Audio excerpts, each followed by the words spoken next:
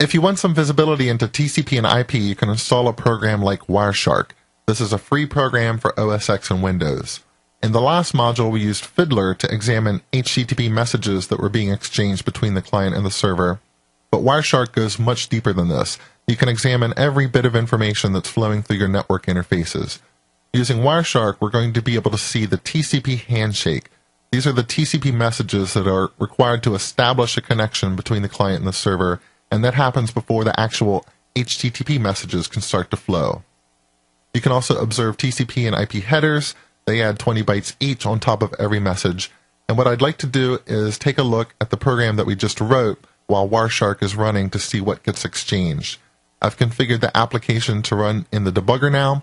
The command line argument is going to specify a URL that says just get the root resource for www.odetocode.com. Now, if you remember from Module 2, everything on odetocode.com makes sure that it gets and redirects resources to make sure they come from odetocode.com and not www.odetocode.com. So this request should generate a simple permanent redirect response from the server. So let's get started with Wireshark. The first thing I'm going to do is specify some capture options. And the capture options, I'm going to use a filter here to say only capture stuff between this computer and the host odetocode.com it's going to be able to figure out what the IP address is for that host and capture all the traffic. I don't want to capture everything because when you run Wireshark without any filter, you'll find out that your network card is probably busier than you thought it was with all the little services and synchronization and chat windows. They're all connecting to something. So let's start Wireshark.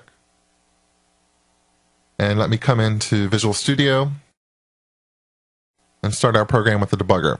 So we're at the point where we are about to connect with a socket. Let me just step over that line of code. And we see that there are three new entries behind us here in Wireshark. We'll come back and look at them later. Now let me advance to the point where we actually send off the GET request. This is the HTTP request message. I will step over that. We have a, three new entries that popped up here in Wireshark. And let's just run to completion where we read the results and finally just exit the application. And let me stop the capture just so we don't get any more messages that are captured. All right, let's drill into what we have. The first message here is a message that was sent from 192.168.1.134, which is the private IP address of my computer here in the local area network at the Allen Estate in Western Maryland. That message was sent from me to 96.31.33.25, which I'm going to assume is the IP address of the server hosting odetocode.com, and it was sent using the TCP protocol. There's no HTTP involved yet. Here in the bottom of the window, you can see the nitty gritty details of what was sent using the transmission control protocol. And also what TCP put into the message, what did the IP protocol put into the message, what happened at, at the Ethernet level.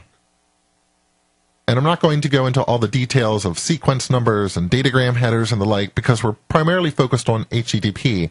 And what I really want you to take away from this discussion is that we exchanged three messages before the HTTP traffic started to flow. So, three messages. This is known as the TCP handshake, the three step TCP handshake. It's the handshake protocol to make sure both the server and the client are in agreement about how to communicate. It's not until that handshake completes that we start sending HTTP messages. So this was the message that I sent out that was the GET request for host www.odetocode.com.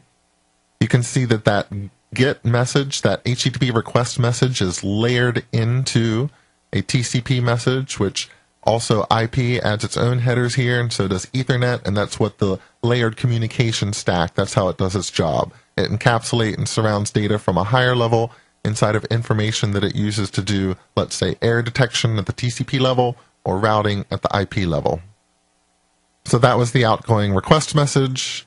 Here was the incoming response message that says essentially, this is a status code 301. The resource is moved permanently. My computer acknowledged that. And then the final line that is in red is a bit of a concern, and it sort of indicates that I didn't write my HTTP client correctly. What happened is my client expected the server to keep that socket open and stay connected, but something must have happened the server side and it closed the socket. I was expecting it to be open. At the TCP level, this generated a reset. And that actually leads nicely into the next discussion about HTTP connections and HTTP performance. As you can see, HTTP relies almost entirely on TCP to take care of all the hard work. And TCP does involve some overhead, like the handshakes that we can see here in Wireshark. And thus, the performance characteristics of HTTP, they're mostly also going to rely on the performance characteristics of TCP, and that's what we're going to talk about next. And we'll also talk about why that red line appears. Why did the server close the connection on me?